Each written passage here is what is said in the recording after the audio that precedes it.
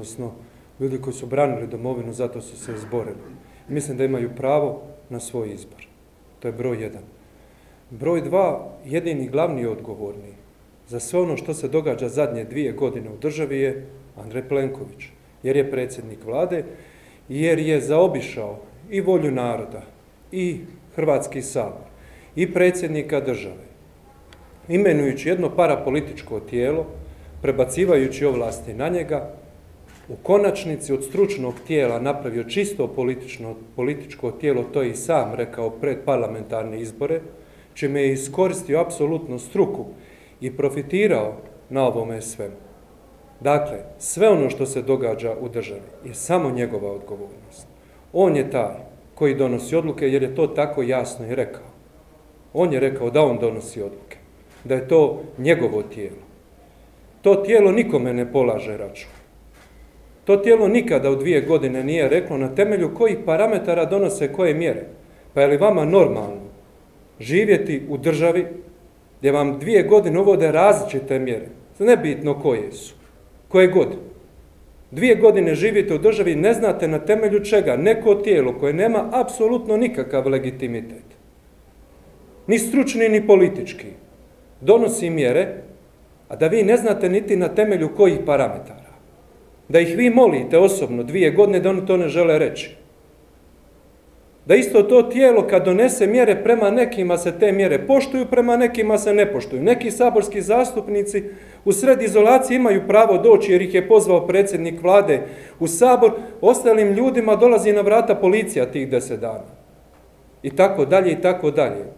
Glavni motivator glavni organizator prosvjeda i glavna osoba koja je odgovorna, jer je preuzela sve na sebe, mimo volje ljudi, mimo volje Sabora, mimo volje predsjednika države i Andrej Plenković. I ovo pitanje morate uputiti njemu u ostalom gospodin Zekanović, koji je očito postao trbuhozborac gospodina Plenkovića. Čim dođe gospodin Plenković u Sabor, mora to pitanje uputiti njemu.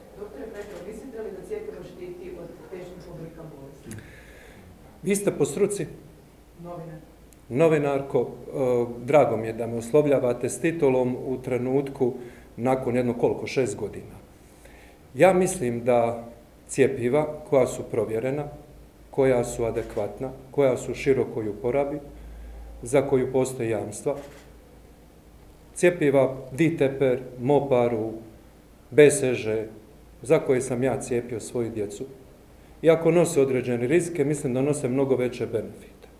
I to je razlog zašto sam ja cijepio tih cijep, s tim cijepivima svoju djecu. Što se tiče ovoga cijepiva, koji je još uvijek eksperimentalno cijepivo i tako ga vodi vlada Republike Hrvatske, upravo zato što je u toj fazi ja kao osoba koja je položila Hipokratovu zakletvu moram prvo gledati da ljudima ne škodi.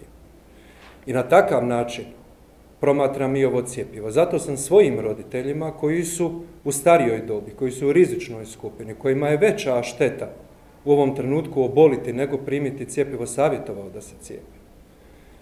Svojoj djeci ne bih davao cijepivo. Zašto bih davao kada nemaju nikakve simptome? Što su vam potvrdila sva medicinska istraživanja. A svi drugi ljudi imaju pravo na izbor. Sami mogu birati što je za njih veći rizik i na takav način odgovorno se ponašati prema sebi i prema drugima.